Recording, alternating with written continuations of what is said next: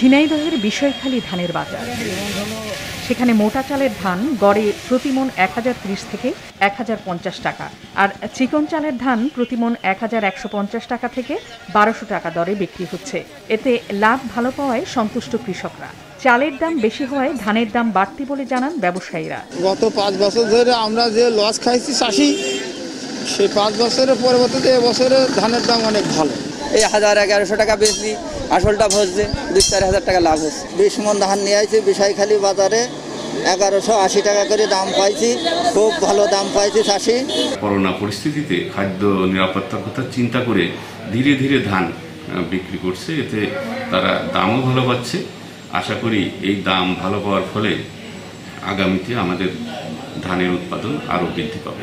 এদিকে সরকার নির্ধারিত সব ধরনের ধানের দাম মন প্রতি এক হাজার চল্লিশ টাকা। এতে বাজারে বিক্রি করে লাভ বেশি হওয়ায় সরকারের কাছে ধান বিক্রি করতে আগ্রহী হচ্ছেন না কৃষকরা।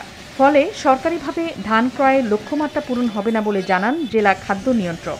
গভর্নমেন্ট যে ধানের দাম দিয়েছে তার চেয়েও কিন্তু বাজারের চলমান গতি বেশি। যদি দাম এরকম থাকে কৃষক কৃষক গুদামে ধান দিতে আগ্রহ হবে না লক্ষ্যমাত্রা অর্জিত হওয়ার সম্ভাবনা কম।